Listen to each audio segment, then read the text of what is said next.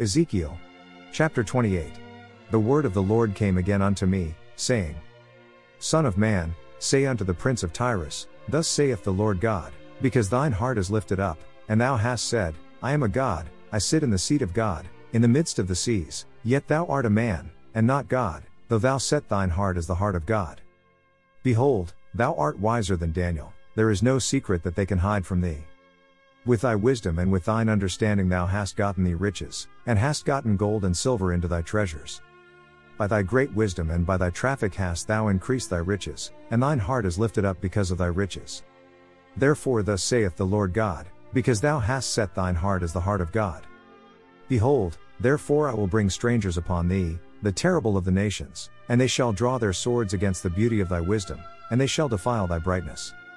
They shall bring thee down to the pit, and thou shalt die the deaths of them that are slain in the midst of the seas. Wilt thou yet say before him that slayeth thee, I am God? But thou shalt be a man, and no God, in the hand of him that slayeth thee. Thou shalt die the deaths of the uncircumcised by the hand of strangers, for I have spoken it, saith the Lord God. Moreover, the word of the Lord came unto me, saying, Son of man, take up a lamentation upon the king of Tyrus, and say unto him, Thus saith the Lord God, Thou sealest up the sum, full of wisdom, and perfect in beauty. Thou hast been in Eden the garden of God, every precious stone was thy covering, the sardius, topaz, and the diamond, the beryl, the onyx, and the jasper, the sapphire, the emerald, and the carbuncle, and gold, the workmanship of thy tabrets and of thy pipes was prepared in thee in the day that thou wast created. Thou art the anointed cherub that covereth, and I have set thee so, thou wast upon the holy mountain of God, thou hast walked up and down in the midst of the stones of fire. Thou wast perfect in thy ways from the day that thou wast created, till iniquity was found in thee. By the multitude of thy merchandise they have filled the midst of thee with violence, and thou hast sinned, therefore I will cast thee as profane out of the mountain of God, and I will destroy thee, O covering cherub, from the midst of the stones of fire. Thine heart was lifted up because of thy beauty, thou hast corrupted thy wisdom by reason of thy brightness, I will cast thee to the ground, I will lay thee before kings, that they may behold thee. Thou hast defiled thy sanctuaries by the multitude of thine iniquities, by the iniquity of thy traffic, therefore will I bring forth a fire from the midst of thee, it shall devour thee, and I will bring thee to ashes upon the earth in the sight of all them that behold thee. All they that know thee among the people shall be astonished at thee, thou shalt be a terror, and never shalt thou be any more. Again the word of the Lord came unto me, saying, Son of man, set thy face against Zidon, and prophesy against it. And say, Thus saith the Lord God Behold, I am against thee, O Zidon, and I will be glorified in the midst of thee, and they shall know that I am the Lord, when I shall have executed judgments in her, and shall be sanctified in her. For I will send into her pestilence, and blood into her streets, and the wounded shall be judged in the midst of her by the sword upon her on every side, and they shall know that I am the Lord. And there shall be no more a pricking briar unto the house of Israel, nor any grieving thorn of all that are round about them, that despise them, and they shall know that I am the Lord God. Thus saith the Lord God, when I shall have gathered the house of Israel from the people among whom they are scattered, and shall be sanctified in them in the sight of the heathen, then shall they dwell in their land that I have given to my servant Jacob. And they shall dwell safely therein, and shall build houses, and plant vineyards, yea, they shall dwell with confidence, when I have executed judgments upon all those that despise them round about them, and they shall know that I am the Lord their God. Chapter 29 In the tenth year, in the tenth month, in the twelfth day of the month, the word of the Lord came unto me, saying, Son of man, set thy face against Pharaoh king of Egypt, and prophesy against him, and against all Egypt. Speak, and say, Thus saith the Lord God, Behold, I am against thee, Pharaoh king of Egypt, the great dragon that lieth in the midst of his rivers, which hath said, My river is mine own, and I have made it for myself. But I will put hooks in thy jaws, and I will cause the fish of thy rivers to stick unto thy scales, and I will bring thee up out of the midst of thy rivers, and all the fish of thy rivers shall stick unto thy scales. And I will leave thee thrown into the wilderness, thee and all the fish of thy rivers, thou shalt fall upon the open fields, thou shalt not be brought together, nor gathered, I have given thee for meat to the beasts of the field and to the fowls of the heaven. And all the inhabitants of Egypt shall know that I am the Lord, because they have been a staff of reed to the house of Israel. When they took hold of thee by thy hand, Thou didst break, and rend all their shoulder, and when they leaned upon thee, thou brakest, and madest all their loins to be at a stand. Therefore thus saith the Lord God, Behold, I will bring a sword upon thee, and cut off man and beast out of thee. And the land of Egypt shall be desolate and waste, and they shall know that I am the Lord, because he hath said, The river is mine, and I have made it. Behold, therefore I am against thee, and against thy rivers, and I will make the land of Egypt utterly waste and desolate, from the tower of Syene even unto the border of Ethiopia. No foot of man shall pass through it, nor foot of beast shall pass through it, neither shall it be inhabited forty years. And I will make the land of Egypt desolate in the midst of the countries that are desolate, and her cities among the cities that are laid waste shall be desolate forty years, and I will scatter the Egyptians among the nations, and will disperse them through the countries. Yet thus saith the Lord God, At the end of forty years will I gather the Egyptians from the people whither they were scattered. And I will bring again the captivity of Egypt, and will cause them to return into the land of Pathros, into the land of their habitation, and they shall be there a base kingdom. It shall be the basest of the kingdoms, neither shall it exalt itself any more above the nations, for I will diminish them, that they shall no more rule over the nations. And it shall be no more the confidence of the house of Israel, which bringeth their iniquity to remembrance, when they shall look after them, but they shall know that I am the Lord God. And it came to pass in the seven and twentieth year, in the first month, in the first day of the month, the word of the Lord came unto me, saying, Son of man, Nebuchadnezzar king of Babylon caused his army to serve a great service against Tyrus. Every head was made bald, and every shoulder was peeled. Yet had he no wages, nor his army, for Tyrus, for the service that he had served against it. Therefore, thus saith the Lord God Behold, I will give the land of Egypt unto Nebuchadnezzar king of Babylon, and he shall take her multitude, and take her spoil, and take her prey, and it shall be the wages for his army. I have given him the land of Egypt for his labor wherewith he served against it, because they wrought for me, saith the Lord God. In that day will I cause the horn of the house of Israel to bud forth, and I will give thee the opening of the mouth in the midst of them, and they shall know that I am the Lord. Chapter 30 The word of the Lord came again unto me, saying, Son of man, prophesy and say, Thus saith the Lord God, Howl ye, woe worth the day.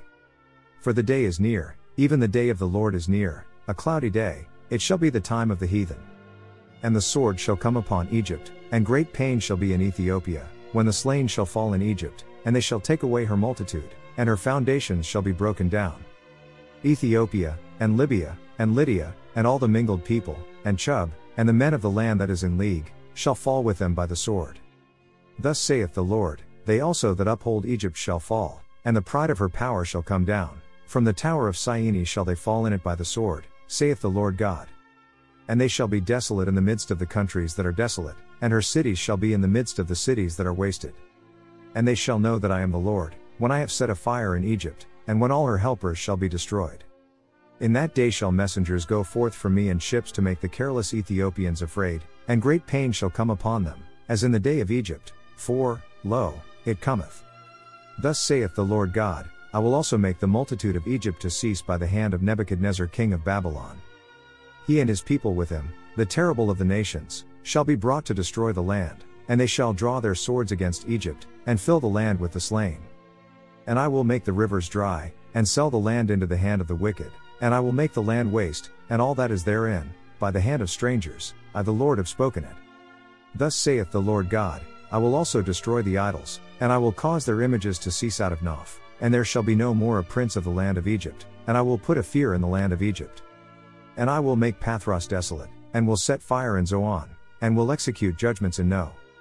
And I will pour my fury upon Sin, the strength of Egypt, and I will cut off the multitude of No. And I will set fire in Egypt, Sin shall have great pain, and No shall be rent asunder, and Noph shall have distresses daily. The young men of Aven and of Pibeseth shall fall by the sword, and these cities shall go into captivity. At Tehaphnehes also the day shall be darkened, when I shall break there the yokes of Egypt, and the pomp of her strength shall cease in her. As for her, a cloud shall cover her, and her daughters shall go into captivity.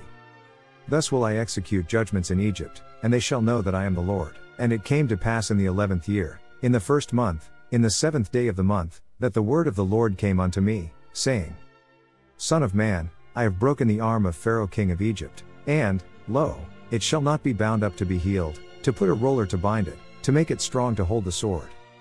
Therefore, thus saith the Lord God Behold, I am against Pharaoh king of Egypt, and will break his arms, the strong, and that which was broken, and I will cause the sword to fall out of his hand. And I will scatter the Egyptians among the nations, and will disperse them through the countries. And I will strengthen the arms of the king of Babylon, and put my sword in his hand, but I will break Pharaoh's arms, and he shall groan before him with the groanings of a deadly wounded man. But I will strengthen the arms of the king of Babylon, and the arms of Pharaoh shall fall down, and they shall know that I am the Lord, when I shall put my sword into the hand of the king of Babylon, and he shall stretch it out upon the land of Egypt. And I will scatter the Egyptians among the nations, and disperse them among the countries, and they shall know that I am the Lord.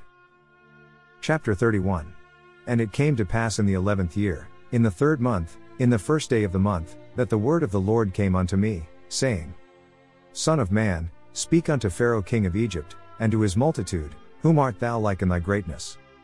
Behold, the Assyrian was a cedar in Lebanon with fair branches, and with a shadowing shroud, and of an high stature, and his top was among the thick boughs. The waters made him great, the deep set him up on high with her rivers running round about his plants, and sent out her little rivers unto all the trees of the field. Therefore his height was exalted above all the trees of the field, and his boughs were multiplied, and his branches became long because of the multitude of waters, when he shot forth. All the fowls of heaven made their nests in his boughs, and under his branches did all the beasts of the field bring forth their young, and under his shadow dwelt all great nations. Thus was he fair in his greatness, in the length of his branches, for his root was by great waters. The cedars in the garden of God could not hide him, the fir trees were not like his boughs, and the chestnut trees were not like his branches, nor any tree in the garden of God was like unto him in his beauty. I have made him fair by the multitude of his branches, so that all the trees of Eden, that were in the garden of God, envied him.